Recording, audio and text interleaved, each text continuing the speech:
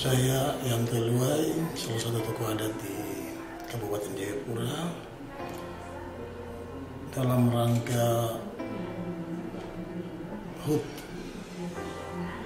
Republik Indonesia yang ke-77 kami selaku tokoh adat ya menghimbau kepada seluruh masyarakat untuk marilah kita sama-sama mendukung ya terlaksananya HUT ke-77 Jadi kita semua masyarakat Papua bersama-sama.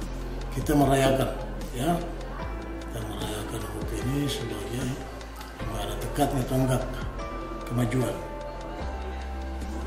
Bangsa kita sama-sama mendukung seluruh program dari pemerintah khususnya untuk uh, peningkatan kesejahteraan kemajuan rakyat Papua. Adanya kebijakan-kebijakan yang dibuat oleh pemerintah di Papua.